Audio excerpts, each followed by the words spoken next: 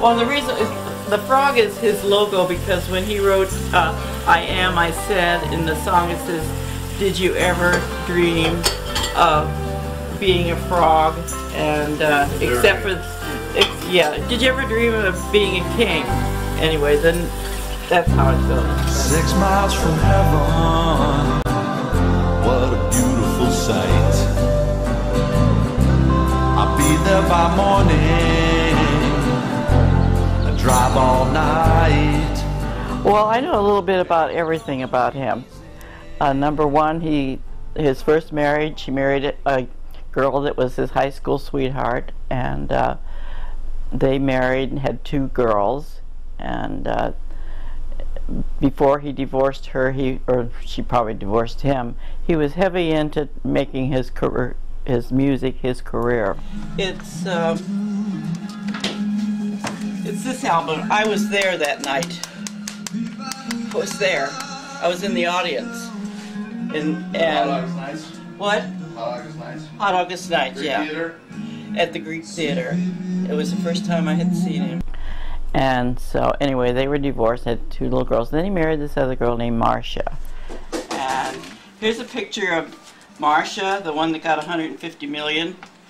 The second his second divorce, 150 million. He said that, you know, he's always said that both of these women that he was married to were great ladies, but they really just didn't want that music, want to be in the music world anymore because it was all encompassing for him. This is the newsletter that comes out like uh, every three months. It's called FOND, and uh, it's just what Neil is doing. And, and there's nothing much going on right now because he's not in concert. Anyway, let's see.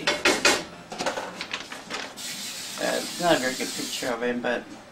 Okay, he was born and raised in Brooklyn. His father owned a dry goods store, and he used to work in the store after school. And uh, his father and mother were dancers, and uh, just they weren't professional dancers, but they liked to go dance. And his mother and dad used to go to these big Jewish weddings, even when they weren't invited, and they'd get in there and, and dance. Neil has four children two girls by his first marriage and two boys by his second marriage.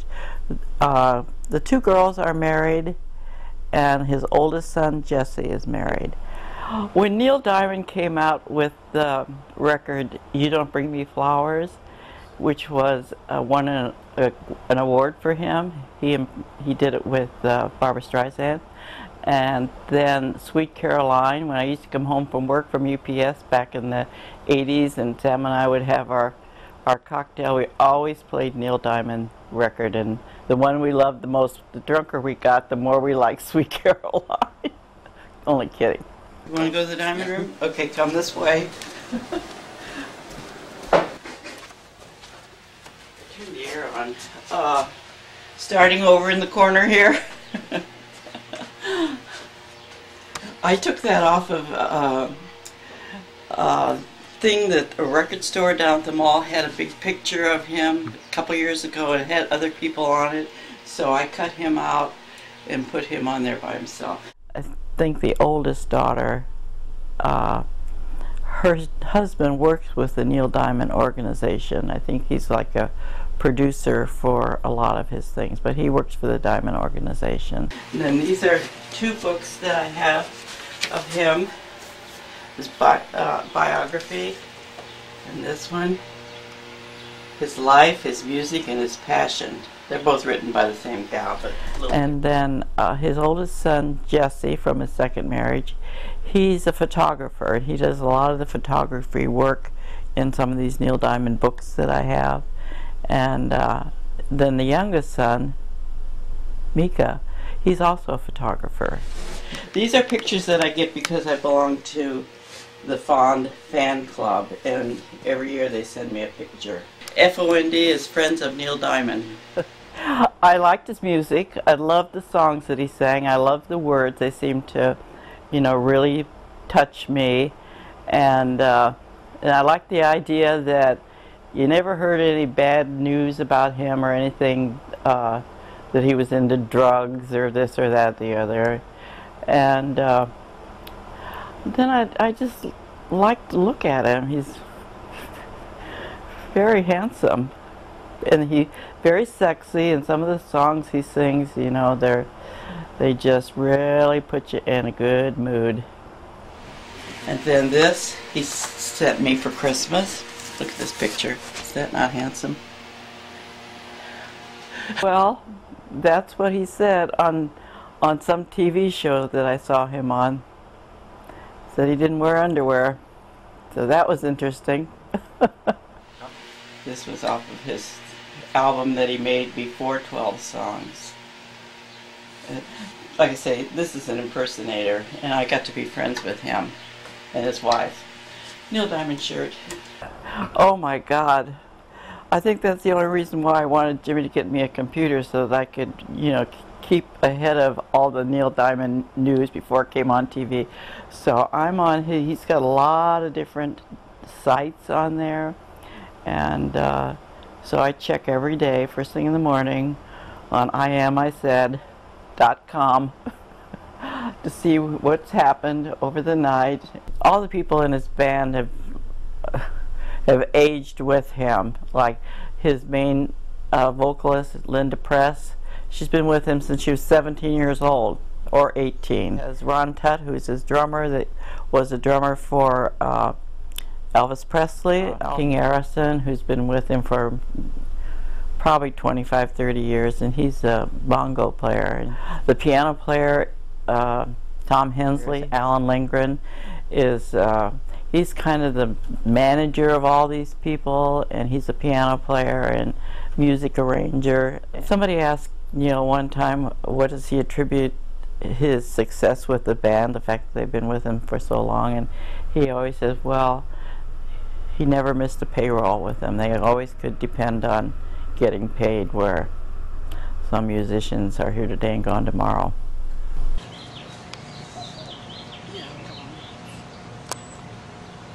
Well, I talked personally to uh, the drummer Ron Tutt one night at, at, a concert in Fresno. He was sitting outside the concert uh, where they were playing, uh, holding this cute little dog. Then I talked to King Errisson one night at the same concert. Talked to Linda Press. Uh, at the hotel where they were staying, which was across the street from the the hall where they were playing there in Fresno, and that was exciting. Oh yeah, I'm I'm a true diamond head. I mean, I enjoy it. It's it's been kind of like a lifesaver for me. If people laugh at me and say, "Oh, I don't want to hear about him," oh, you know, but I still talk about him. Sylvia, when she goes on a trip with me, she says, "Okay, you you can't talk about him for 15 minutes or 20 minutes. No, no, no mention of Neil." And of course, when we used to go places together, we always took my car, and she would drive it, and and I'd say, "Well, I can play Neil all I want to. It's my car." and so she, we'd go about 400 miles, and she'd be so sick of hearing Neil. It was just crazy, but it was fun. M most of my friends. Uh, and family, they know why, you know, I've got so hooked onto him. And uh, it's just that his songs just touch me. And uh, one day when I was living out in uh, Desert Hot Springs, I was, it was soon after my daughter Lori died. Cut. and I was feeling really sad. So I went up yeah, I put on one of his CDs, and it just lifted me up. it just made me feel so good, whatever he was singing. And so then I really got into his music after that.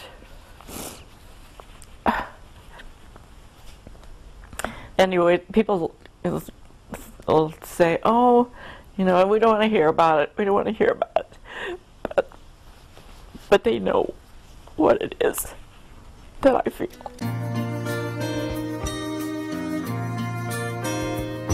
Did you ever read about a frog who dreamed of being a king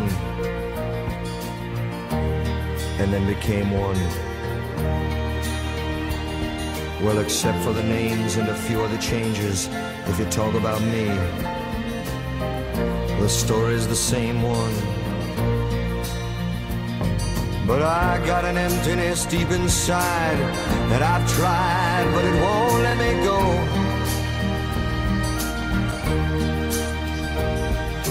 And I'm not a man who likes to swear, but I never cared for the sound of being alone.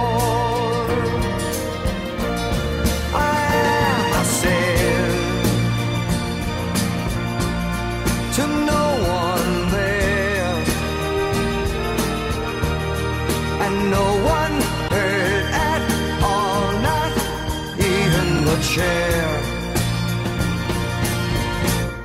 I am, I cried. I am, said I.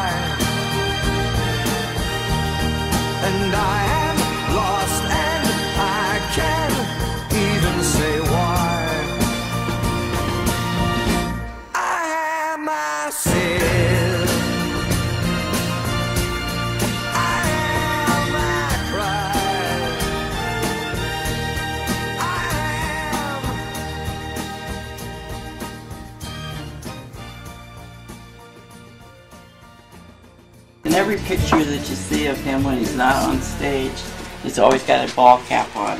Every single picture because he does. He's lost all of his hair. Not in the back. He's got lots of hair back here, but in the front he's lost it. This whole thing is just full of diamond stuff. And I'm hoping when I die that Jimmy doesn't throw it in the trash and burn it up. If he does, I'll come back to haunt him. Well, of course, my, my daughter, Kathy, she, she just thinks that, that I'm nuts, and I am.